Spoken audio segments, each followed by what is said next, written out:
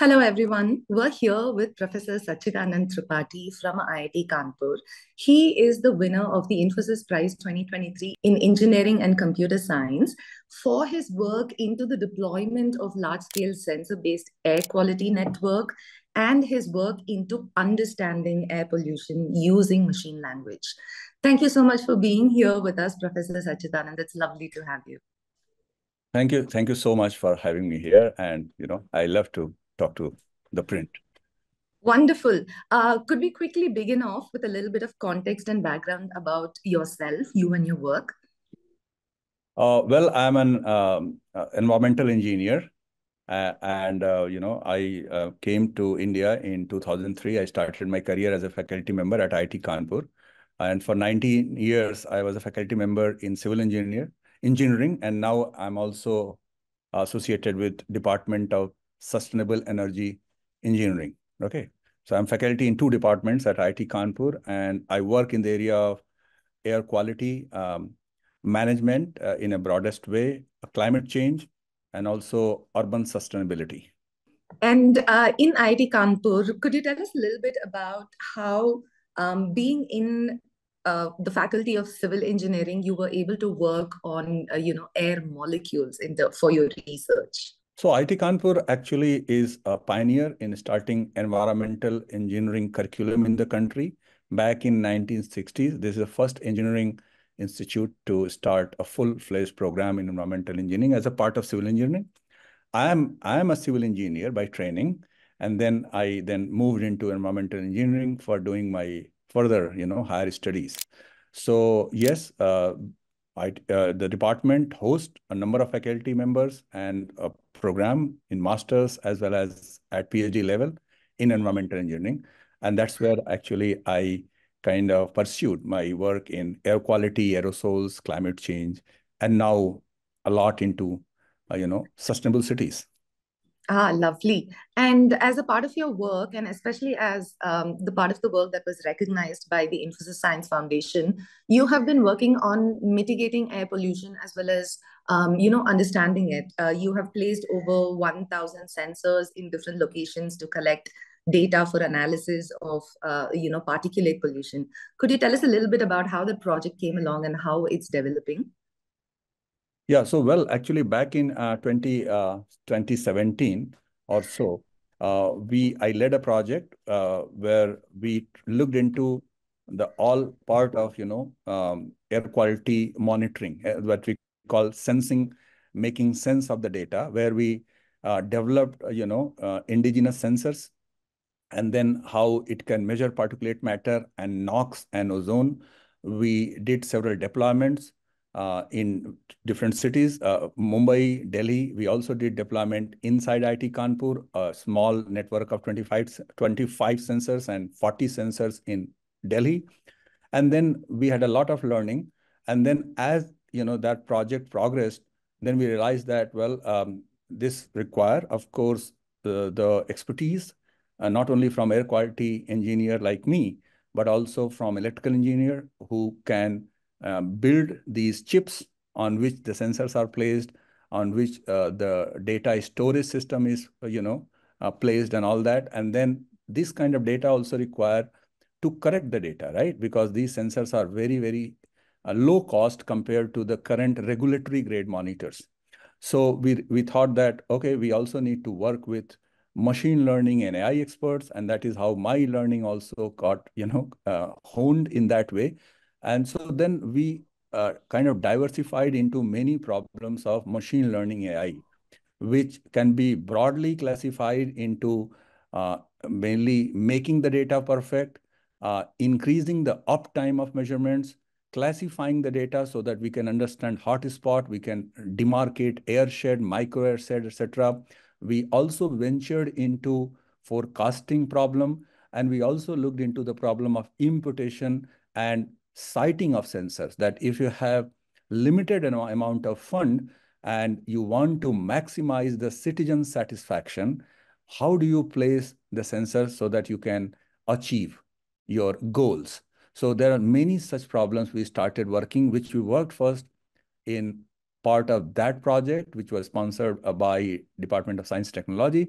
And then I'm also now running a center as a principal investigator, which is called Atman, and which is mainly funded by private uh, you know, entities, various philanthropies, government subsidiaries, and industries. And where, as you rightly said, one of the flagship project of that center is called Amrit, where we are putting one sensor in every administrative block of the two largest states of India, Uttar Pradesh and Bihar. And till today, uh, we have already put 1100 sensors. And by middle of next month, we should be having one sensor in every block, which actually will amount to 1400 sensors across the two states. But in addition to that, in the meanwhile, we also had a couple of other networks, sensor network, which we deployed, which were in the city of Lucknow, where we put 70 sensors. These are different than this current project which is going on, and 40 sensors in each city of Guwahati, Chennai, Kanyakumari, and Jaipur. So this is kind of network currently we are running in the country. And uh, you obtain all kinds of air pollution data and aerosol data from uh, these specific sensors that are there. And all of them, um, all the data comes into your server, is it? All the data comes to my server, and we are working closely with the city officials and the government officials in both, both Bihar and Uttar Pradesh. Uh, Bihar government is already making use of many of these data. For example, I told you that uh, we now have developed the technology to uh, figure out the airshed, which is a new approach to deal with the problem of air quality management, rather having to design the air quality around the administrative units like the district, city, or let's say uh, divisions. Air pollution does not follow man-made boundaries. And they follow, they have their own natural flow. So which actually is called something like airshed and micro airshed. Now, without having sufficient data, it's very difficult to figure out where the air shed will be. Now we have been very, we have been able to figure out the actual geographical spread of airshed and micro airshed over Bihar using couple of machine learning techniques and some of these and many other such information is being used by Bihar. And we also have given access to the data which we have we have been storing and you know and that is what is streaming into our IIT Kanpur. Yes. And through all of this data, the large amount of, well, big data that you collect, you are also able to analyze it and discover, um, I believe you were working into understanding haze formation and also like different ways in which aerosols form. Is that also a part of ongoing research from this data? Yes, that's, that's correct. So uh, using this data, we are also trying to kind of getting more fine-grained, granular information about, you know, people's exposure. So just to give you an idea that these two states, if you put together all the monitors, they were 90. Now we have added 1100 sensors. Now 1100 sensors actually brings down the spatial resolution from 5000 square kilometer uh, one data point to 300 square kilometers. So we have improved the spatial resolution by a factor of just about 20. But that is still not enough. 300 square kilometer is a large area where large number of population are exposed to very different kind of pollution concentration, right? So there we are also using, making use of satellite images and artificial intelligence pipeline to improve this resolution to half a square kilometer or even better. That's one goal we have, and we have got some very interesting results. Second, we have also looked into the genesis of haze formation over Delhi, and we discovered that what are the factors which contribute to the sudden rise in particulate matter 2.5 concentration in a very short span of time. That is having about 60, 70 microgram per meter cube of PM2.5 in winter evenings about 6, 7 p.m. And then that concentration increases to 400 microgram per meter cube by early morning, just about in 12 hours. And we worked it out by making very detailed, precise measurement at also molecular level and other ancillary measurements using these sensors. And then we developed a model which can tell us precisely that it is the biomass burning related primary gas emissions, which are primarily driving the nightly growth of particulate matter in Delhi's atmosphere. So just to give an idea that what is this growth and what growth rate we are talking about. So these are, we are talking about the nanoparticle growth rate, which is basically particles having size from 10 to 100 nanometer. They are very, very tiny particles, one of 10,000 of the human hair strand and we could measure their growth rate with a precision of few nanometer per hour. And what we found that the nightly growth rate of Delhi haze particle is sometime 30 to 35 nanometer per hour, which is three to four times more than what earlier has been seen in the daytime atmosphere of China. And this mm-hmm. actually led us to investigate it more. And then we found out this widespread biomass burning led gas emissions or primary organic gases are the main culprits for the nightly particle growth and therefore the sudden haze formation in the Delhi's atmosphere. That's very fascinating. There's a lot of like these uh, small, small patterns in human habits that uh, I'm sure you must be uncovering that leads to very specific concentrations of haze and fog and air pollution apart from, you know, our natural systems. Um, I suppose uh, my last question would be, uh, we have talked about the kind of data that you would collect and the kind of things that you would understand from the data.